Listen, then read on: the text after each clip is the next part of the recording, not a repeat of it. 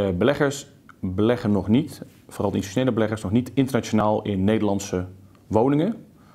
Omdat ze er nog onbekend mee zijn. Omdat het vooral gericht is op hun eigen markten. Uh, terwijl Nederland als beleggingsland, CQ als belegger in Nederlandse huurwoningen, een zeer interessante mogelijkheid is. Vooral op dit moment.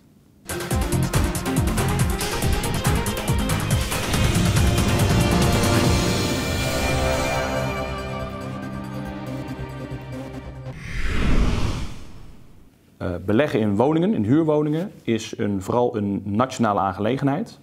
In Europa heb je in zes landen een ontwikkelende markt. Nederland loopt erin duidelijk voorop, maar het zijn vooral de Nederlandse pensioenfondsen en verzekeraars die in Nederlandse woningen beleggen.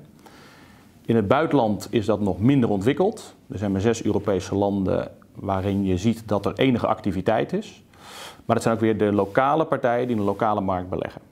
Uit het onderzoek blijkt dat juist het diversificeren, dus het beleggen in meerdere woningmarkten, interessant is vanuit een portefeuillestrategie, vanuit risicodiversificatie uh, en vanuit daarmee dus een goede rendement-risicoverhouding. Wat moet er veranderen dan om dit te bewerkstelligen?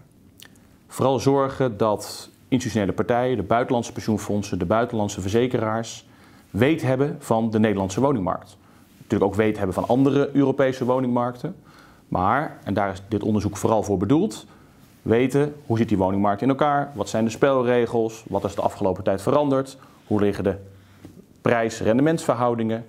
Dus het is vooral een kwestie van informatie delen, informatie geven. En dat is ook het belangrijkste doel van dit onderzoek, om die partijen te informeren en ze juist hun blik te laten richten op Nederland. Hoe groot is deze markt eigenlijk? De Nederlandse institutionele woningmarkt die is in handen van de acht grootste Nederlandse woningbeleggers, zeker fondsbeheerders, die dit onderzoek hebben geïnitieerd. Dat lijkt in verhouding vrij klein, maar als je dat in Europees perspectief zet, dan is beleggen in woningen in Nederland maakt dat 50% van de index uit. Dat is vrij fors. Zwitserland ook ongeveer dat percentage. Maar in andere landen, zoals Duitsland en in Frankrijk en in Engeland, is het percentage 10% of lager. Wat betekent dat we in Nederland al heel ver zijn en er een goede infrastructuur is om te beleggen in Nederlandse woningen. En dat het vooral is in andere landen of andere Europese landen waar beleggers uh, hun geld uh, willen beleggen. Juist zeggen in Nederland hè, is een interessante mogelijkheid en infrastructuur is aanwezig. Wat kunnen we leren van het onderzoek?